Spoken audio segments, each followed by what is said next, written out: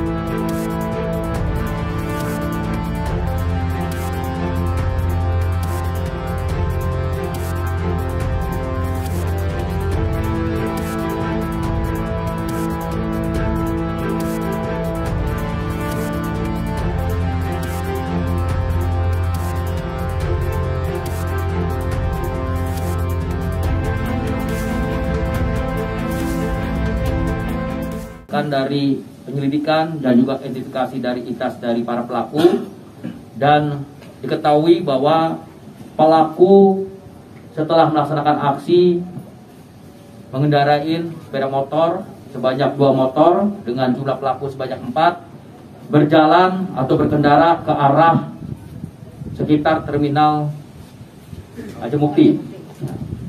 Setelah itu dilakukanlah penangkapan oleh anggota tim sus Satreskrim Polres Cirebon Kota. Di mana petugas kami menggunakan atribut ya, salah satu ojek online supaya tidak terindikasi oleh para pelaku dan selanjutnya berhasil membekuk pelaku tersebut.